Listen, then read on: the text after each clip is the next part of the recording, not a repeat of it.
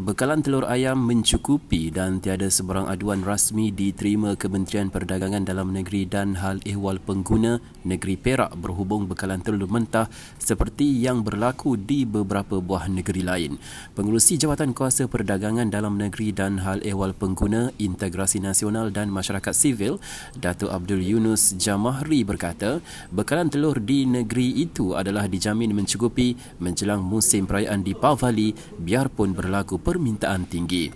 Secara purata sebanyak 148.5 juta telur mentah dikeluarkan sebulan oleh 23 pengusaha ladang swasta untuk pasaran tempatan dan turut menerima bekalan dari beberapa negeri lain. Beliau berkata demikian selepas sesi walkabout dan pemantauan pelaksanaan skim harga maksimum musim perayaan di Pavali 2022 di Pasaraya Ekonsif Parit Buntar hari ini. Tambah beliau lagi, kekurangan bekalan di beberapa kawasan berkemungkinan berlaku permintaan tinggi berikutan musim perayaan dan ianya bersifat sementara.